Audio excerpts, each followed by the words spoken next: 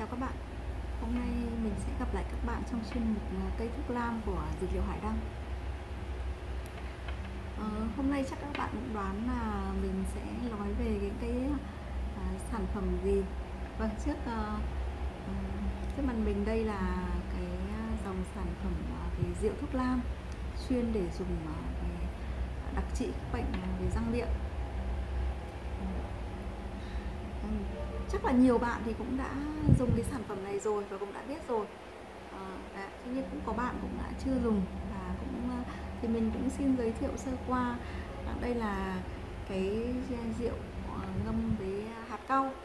À, chuyên dùng để chữa các bệnh về răng miệng viêm lợi rồi sâu răng. Nói chung là tất tật tật về các bệnh răng miệng. Cái cái về cái um, tác dụng uh, chữa bệnh răng miệng của rượu hạt cau thì cũng đã được uh, thì cũng đã được cha ông ta sử dụng từ trước rồi. Để chúng ta cứ để ý là từ trước giờ thì cha ông ta thì các cụ thì vẫn thường nhai trầu à, ừ, thì khi các cụ mà đến tuổi lâm trung thì răng các cụ rất là còn rất là chắc khỏe mà lại không, không dụng cái răng nào. Cái từ đó thì cái à, hạt cau này cũng được à, đem ra nghiên cứu và sử dụng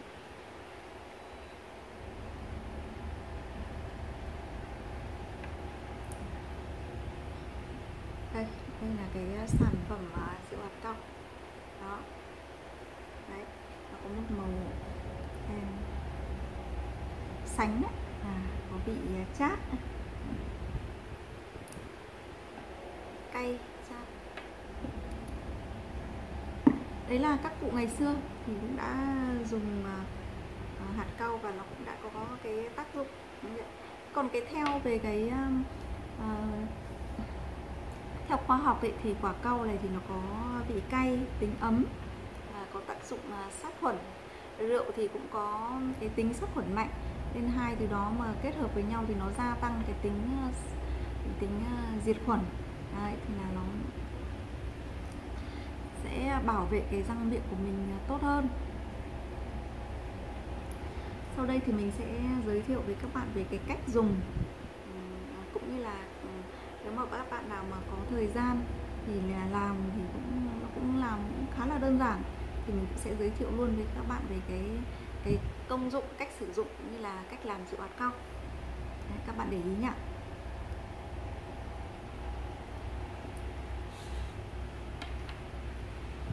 Đây là cái chai rượu hạt cau bên uh, dược liệu hải đang uh, đóng chai thì với cái dung tích là uh, 300 ml Đó và một loại nữa là 500 ml Đấy, cái loại à, to nhất thì là loại 1 lít. Vâng.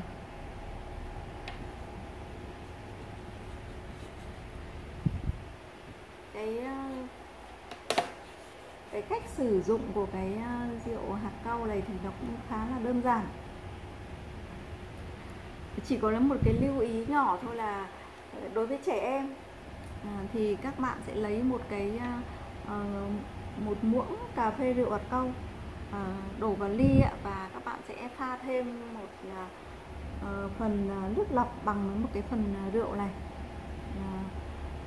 Các bạn hòa lẫn rồi đưa cho trẻ em xúc miệng. Xúc tầm độ một phút thì nhổ ra. Đấy. nếu mà bé mà cảm thấy nó cay thì có thể tăng thêm cái phần nước lọc. Khi mà bé quen rồi mà không thấy cay thì mình sẽ uh, ngậm từ 2 đến ờ, 4 5 phút được. Mỗi ngày thì lên ngậm từ 1 đến ờ, 3 lần sau khi ăn và uh, trước khi đi ngủ này khi đánh răng này.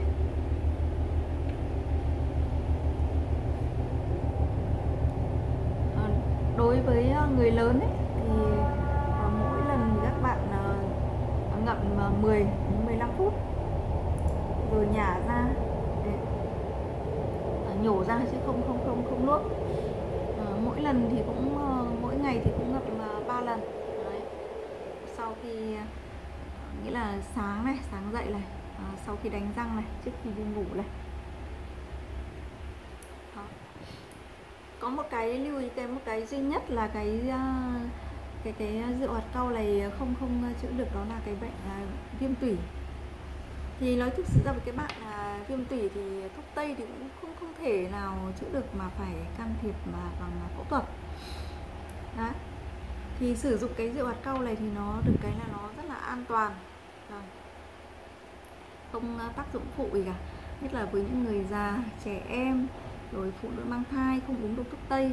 Thì cái à, rượu hạt cao này thì là là là, là, là cách uh, tốt nhất thì nó, cách làm cái rượu hạt cau thì là thì là nó cũng không khó. Ờ, các bạn sẽ uh, ra chợ và sẽ mua uh, mua quả cau về. Sau đó thì mình sẽ uh, bổ ra chỉ lấy hạt thôi. Vâng chỉ lấy hạt thôi. Ờ, cái um,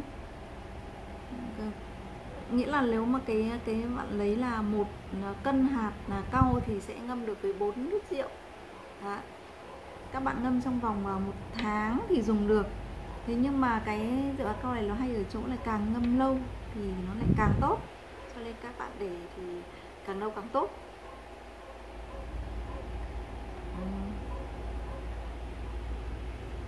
Đấy các bạn để ý là khi mà cái thành phẩm rượu cao thì nó có cái màu này. Dạ.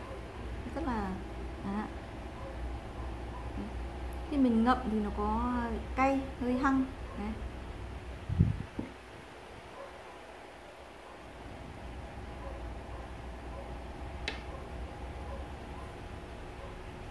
Đấy, mình vừa giới thiệu sơ qua với các bạn về cái công dụng của rượu hạt cau như là cách sử dụng à, rượu hạt cau để bảo vệ sức khỏe răng miệng hàng ngày. Ừ, nếu mà các bạn mà có thời gian thì các bạn cũng lên à, làm à, ờ, làm thì nó cũng không khó. Đấy các bạn có thể ờ, làm lấy vài chai xong mà để ừ, dành ờ, dùng dần. Đấy, nó rất là tốt và cũng là rất là hiệu quả các bạn nào không có thời gian hay là muốn tư vấn thêm về cái rượu hạt cau thì các bạn sẽ điện thoại trực tiếp với số điện thoại 0966 446 329 hoặc là truy cập uh, vào cái website cây cảnh hải đăng com để xem cái cách uh, mà um, mình đã hướng dẫn rất là đầy đủ về cái cách làm cũng như là cách uh, cái, cái, cái cách sử dụng uh, sao cho nó hiệu quả nhất. Đấy. cảm ơn các bạn đã theo dõi. Xin chào các bạn.